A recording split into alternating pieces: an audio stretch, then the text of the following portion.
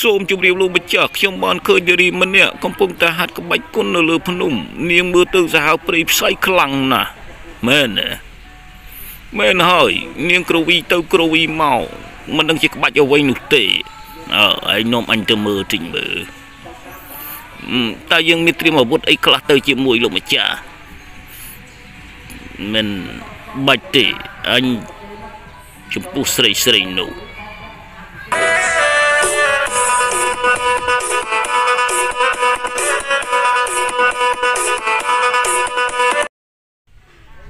អឺពិតក្បាច់នេះគួរឲ្យសាហាវខ្លាំងណាស់មើលទៅ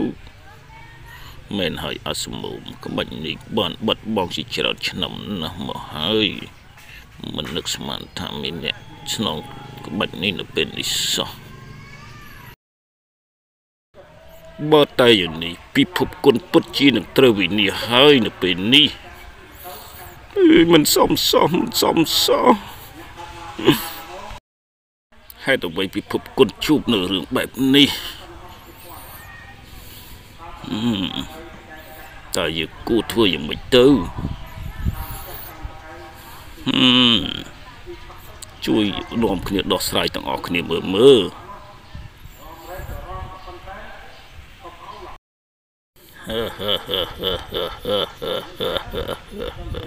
ហើយអ្វីបានជាឯងសើច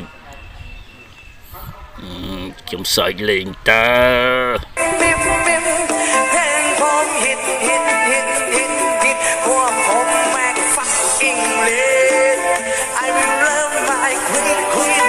តើគួរខ្ញុំដឹកនាំតបទៅកំតិចបពួករបស់ពួកគេដែរឬទេអឺ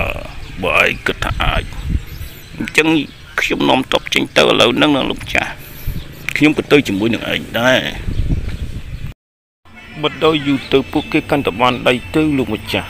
ខ្ញុំគិតថាត្រូវកម្ចាត់ពួកគេចេញពីពិភពគុណហើយនៅពេលនេះអឺក្រែកតែឯងគិតទៅចុះមិនដែរអាសមូមឯងចង់ចូលរួមអត់អឺមិនអីទេលោកម្ចាស់ហឹមយើងទុកចិត្តលើឯងចំពោះស្រីស្រីទុកចិត្តលើអាសមូមខ្ញុំចោះ សង្គ្រាមមួយនេះខ្ញុំមិនអោយចាញ់ជាដាច់ខាត